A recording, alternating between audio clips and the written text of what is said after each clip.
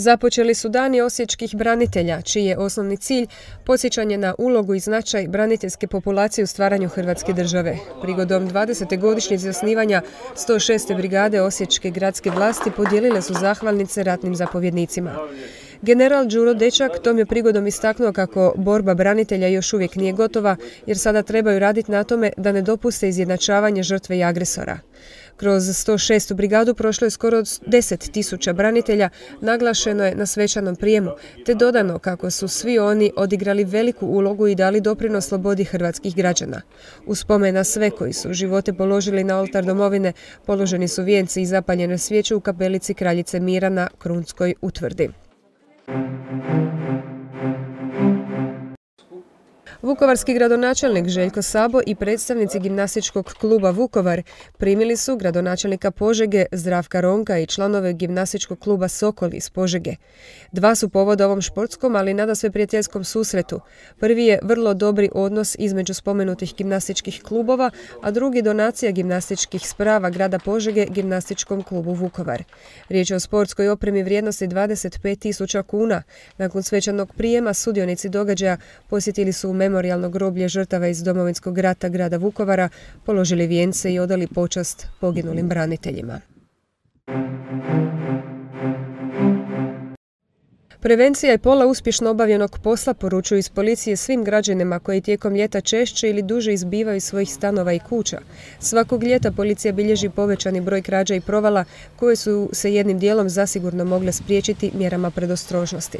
Zlatno je pravilo ne odavati pljačkašima da je kuća prazna, proletne ne spuštati, dogovoriti sa susjedom da prazni poštanski sandučić, te ključ povjeriti pouzdanoj osobi koja bi mogla obilaziti kuću. Na telefonske sekretarice ne ostavljati poruke o odsutnosti, niti na sva zvona razglasiti plan o putovanju.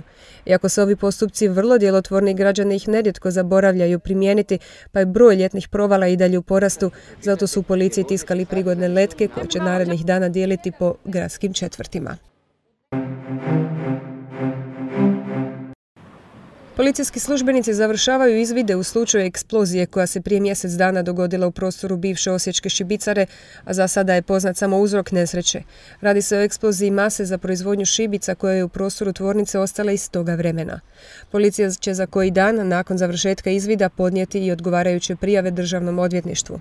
Proteklog tjedna su na području policijske uprave Osječko-Baranjske zabilježena 60 kaznenih dijela, među kojima ponovno prevladavaju dijela počinjena protiv imovine.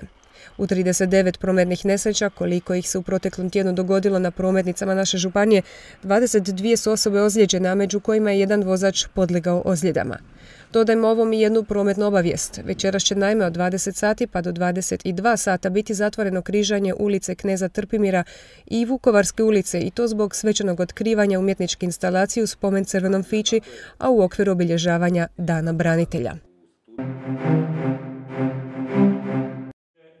Čelništvo Osječkog ogranka Hrvatske stranke prava dr. Ante Starčević objavilo je na konferenciji za novinare kako s današnjim danom kreću s predizbornim aktivnostima, a koje će usmjeriti prvenstveno na informiranje građana.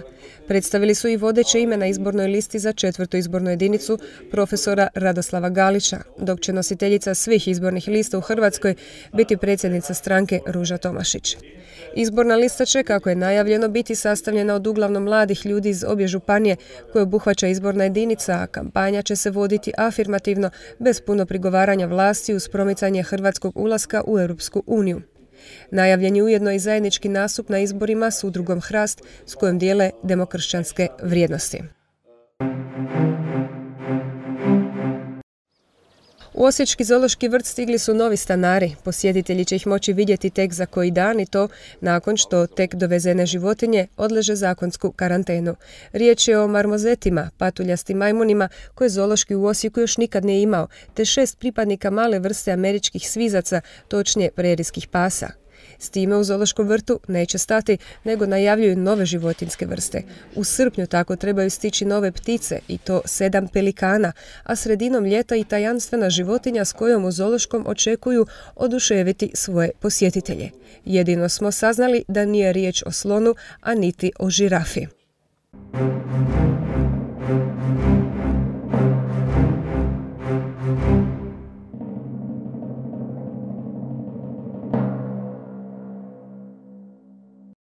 Meteorolozi nam i za sutra najavljuju vrijeme slično današnjem, dakle djelomice sunčano. Više na oblake očekuje se tijekom poslijepodneva, vjetar slab do umjeren sjevernog i sjeverozapadnog smjera, najniža jutarnja temperatura između 12 i 17, a najviše dnevno uglavnom između 24 i 28 stupnjeva Celzijevih.